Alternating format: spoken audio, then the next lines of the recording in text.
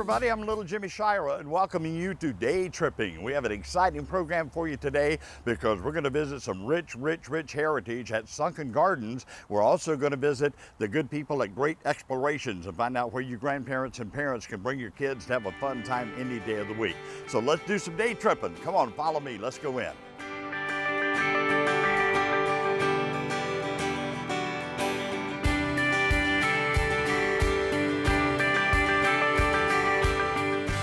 We are now inside beautiful Sunken Gardens, and this young man right here, Bill O'Grady, is going to tell us everything about this uh, business. has been here since the early 1900s. Is that correct? Actually, yeah. The garden started in 1903 when George Turner moved here from Jacksonville, and he bought this property. It really surprised the neighbors at the time because there was a swamp here, and they couldn't figure out why somebody would be buying Florida swampland. But George was pretty bright, and he knew that if he could get the water out of that uh, that swamp, he'd have access to rich black muck soil. He did determine eventually that it had been a sinkhole that had occurred here thousands of years ago that created that wonderful soil. He started planting tropical fruit trees with the hope of setting his family up in a fruit business, but the reality was people didn't buy the fruit. They just came to look at his collection of plants. 1935, he had it all fenced in and he opened it as Turner Sunken Gardens. This building that we're in right now was also very significant in St. Petersburg's history in that it was the original sanitary public market. So basically the first mall in the area and it opened in 1926. So even the building is historic. But that said, let's go see where the garden started uh, in the Oak Pavilion where the Turners had their homestead. Great, let's go outside and see the gardens themselves. Bill, what a beautiful section of sunken gardens we're in right here. What is this area called? Well, thank you. This is uh, the Oak Pavilion. We hold a lot of weddings and things here, but this was originally uh, where the Turner family built their home when they moved here in 1903. This is where they constructed their home. We now use it uh, for entertaining. We have lots of different events that are here. We call it the Oak Pavilion because as you can see, there's a 250-year-old oak that's overhead. It's Quercus virginiana, the southern live oak. We have eight such oaks on the property and we're you know, very pleased to be their custodians. You can hear the birds that are calling our names over there, so let's go look at the birds. I'm ready. Let's go see the birds. I love birds.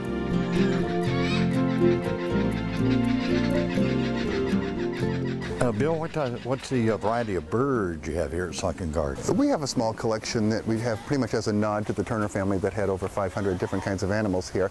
Some of the most popular ones are the flamingos that we'll see shortly, and also these, the, the laughing kookaburras from Australia. Uh, Sydney and Alice are uh, known for their sound. Actually, they have a great call, and I can hopefully get Sydney to call. And if I can get Sydney to call, then Alice will usually join in. Not always. Okay. Sydney.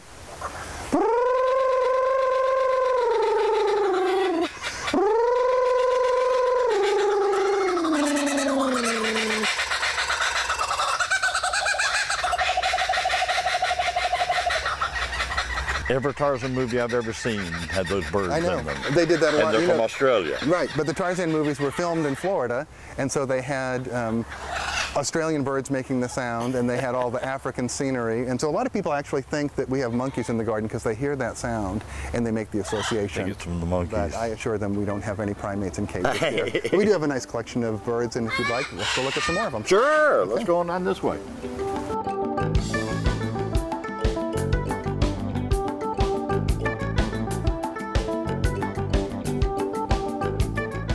Bill, I just cannot believe the birds you have here at Sunken Gardens. I thought it was just a garden. Well, historically, the Turner family did have quite a few birds here, especially the second generation. Uh, they had many of them.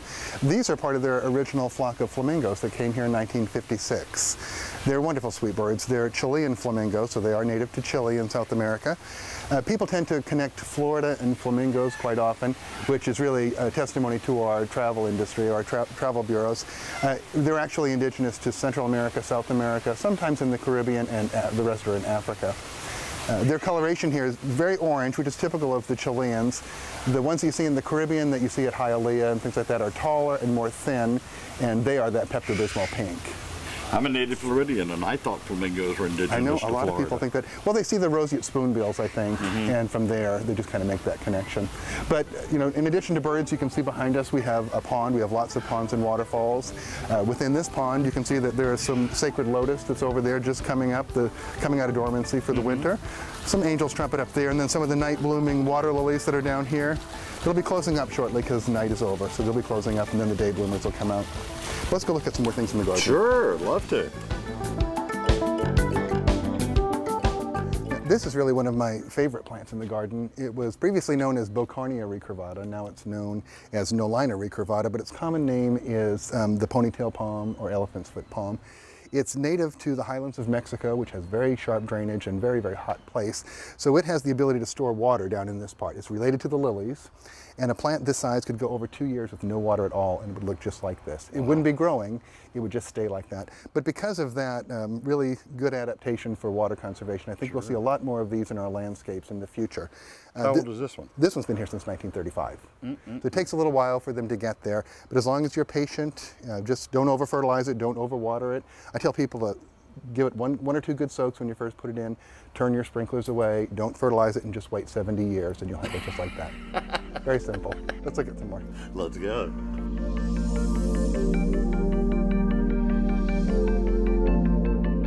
Bill, what have you found down there? Well, I wanted to show you what the soil looks like at the bottom of a sinkhole. As I said before, this is a sinkhole. So down here, we have this rich black loam soil, unlike Pinellas County's sand and shell. yeah. So almost anything will grow in this. It's a wonderful. It's uh, more than six feet deep. We've dug down. We know it's more than six feet deep. So it's tremendous muck. And because of that, things grow very well. You can see all the impatiens around. Uh, this is nearing the bottom of the sinkhole, and we put this Bismarck palm in, um, which is native to Madagascar. We put that in about six years ago, and at that time it was this big. It's grown very, very well. This is uh, very salt tolerant, drought tolerant, has a lot to offer. So we'll be seeing a lot more of those in the landscapes in the next few I years. I hope so. That's beautiful. I think so. Bill, what beautiful palm trees you have here at Sunken Gardens. What, the, what is this variety? Uh, these are royal palms. They're Roystonea regia, the Cuban royals from Cuba. This area is known as the wedding lawn, and certainly thousands of people have been married here through the years. This is one of the reasons. It really defines the garden beautifully. They were planted here by George Turner himself from seed in 1903. They are the oldest and the largest in the county, and we're very pleased to be the custodians of these palms. Looks like Hawaii in there. It's beautiful. I've got a couple more things I want to show you in sure, one more area. Let's go so look at them. Out. Bill, let's talk about some of the butterflies that uh, congregate here at Sunken Garden. Oh, sure. We have quite a variety of butterflies that come here. Uh, the reason being that we plant a lot of things to attract them. Uh, this is one of the things that we planted. This is Aristolochia. And Aristolochia is sometimes known as the Dutchman's pipe because this is said to look somewhat like a pipe if you use your imagination. A lot of people think that it might be insectivorous, meaning that it eats insects, mm -hmm. because they see flies going in there. What the flies are really doing is coming back here and getting to the nectary, getting some of the sweet nectar, and then coming back out. And when they do that, they're inadvertently bringing the pollen from this one to the next flower. But this plant is here to attract the swallowtail butterflies, which lay their eggs on here, and then the caterpillars come through and, and eat it. But it's a fair trade, and even when the buds, the buds haven't opened yet, they're still quite intriguing looking. Beautiful. Um, how much of Sunken Gardens have we seen in our little tour today? We've seen maybe 20 or 25 percent. Wow. Uh, it's three and a half acres, and a really in-depth garden tour, which I conduct the in-depth garden tours, they last about an hour to an hour and a half uh, easily. And we have group rates that are available for people that uh, have 15 or more people that come in. Any problem with people in wheelchairs? Oh, or? no, not at all. We have a lot of uh, people that come in that are either in wheelchairs or using walkers. It's very user-friendly. It's a historic garden. It's been an attraction since 1935. So people have been coming in for a very, very long time. No problem whatsoever. Yes, exactly. Beautiful. I've really enjoyed this. Yeah. Well, I hope you have a chance to come back. We're open every day of the year except for Christmas and Thanksgiving. Uh, I don't know what your age is, but if you're over 55, then the nope. cost is only $6 per person to come in. I'm 39. But, okay, there you go. Bring in your ID. uh, Sunken Gardens is on 4th Street, just south of 22nd Avenue in St. Pete. Uh, you need to come down here. It's an incredible place. What a wonderful time we've had here at Sunken Gardens today. Thanks to Bill O'Grady and the folks for making it possible to visit with them. If you haven't been to Sunken Gardens, you're missing a lot of fun. Now we're going to get some hands-on experience. We're going over to Great Exploration. So come on, let's go over there.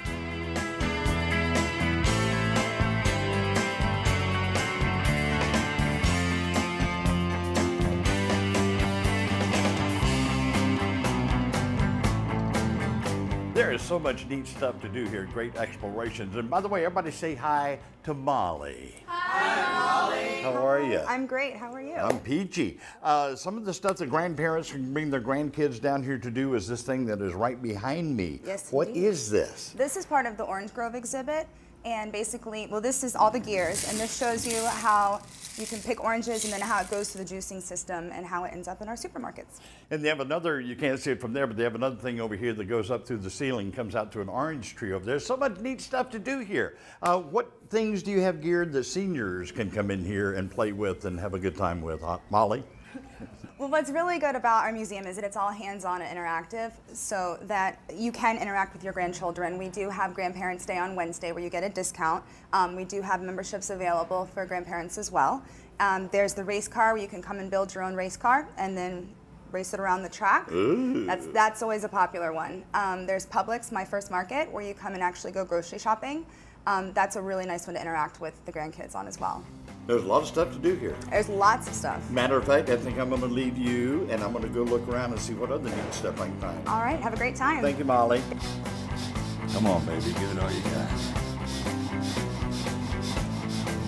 And next I will play Brahms' Lullaby from the third movement.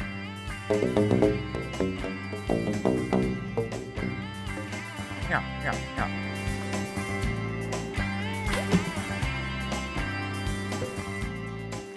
Now, this is what you call hands-on right here at Great Explorations in St. Pete at Sunken Gardens. Uh, this is called to pull yourself up. We've got three different versions of this. This one lists 25% of your body weight, another one 50%, and another one 75%. So all you got to do is grab the rope and pull above the knots.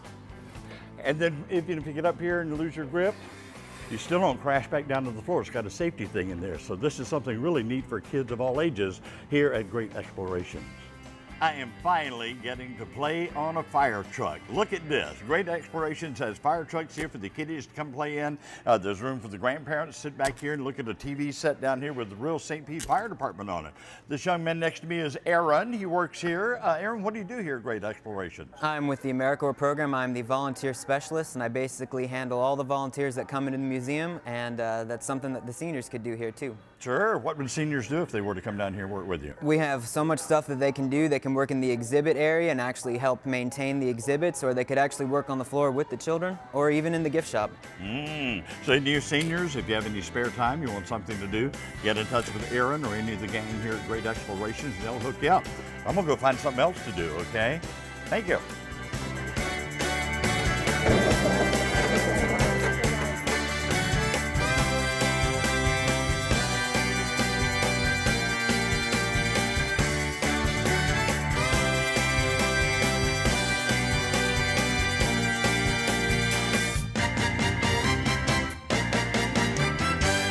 What a fun time I've had today here. We have just covered so much ground. We were over at Sunken Gardens with Bill and the folks over there for a while. Uh, then the last one here, we've been here at Great Explorations uh, with Molly and everybody, just having a wonderful time. You need to pack up everybody in the car, bring down kids, grandkids, uh, moms, dads, grandparents, anybody can come down here and have a wonderful time. It's on 4th Street, just a little bit south of 22nd Avenue North in St. Pete, uh, but we have Great Explorations and Sunken Gardens right next each other. You'll have a wonderful day down here, I promise you.